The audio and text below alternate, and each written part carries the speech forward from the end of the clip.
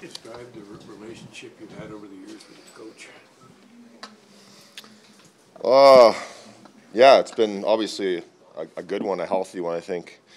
Um, you know, I owe uh, a lot to Tip for, you know, taking a chance on me, bringing me from Tampa to Arizona where I was kind of bumping along, hadn't really found my groove in the league yet, and gave me the opportunity to play a lot of games in, in, in uh, Arizona. And um, obviously, when you have that trust in, in a coach and he has the belief in you, then that gives you confidence as a player, and, and that's all you can ask for.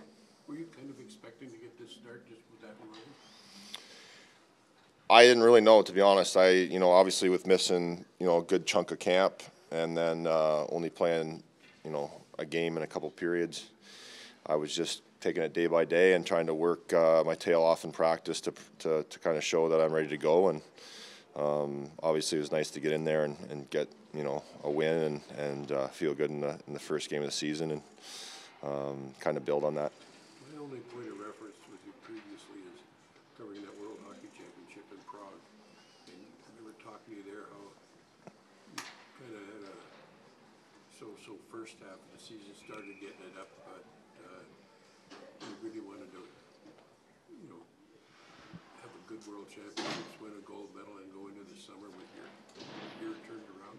Is this a little bit like that situation, not really? Uh, yeah, I mean, it's obviously, you know, coming out of last year and finishing the season off like I did, I think, uh, you know, um, you always want to have a good start. I think it's, it's, uh, you want to have a good start and a better finish, but I think it's, it's nice to come to a new team and, and get off to a good start and, and play solid and feel like you're, you know, you're doing the right things to, uh, to give your team a chance to win, and, and that's what it was all about this year. Was was coming in feeling healthy, feeling good about where my game was at last year, and and uh, had a good summer of training, and, and a lot of hard work went into preparing for uh, a new season and being on a new team, and and you know uh, obviously last night was was the way we wanted to, to start off the season. Uh, early with you in this group, but you must have a sense of what Adam Larsson means to this group and how tough is it to to lose him the way you guys have.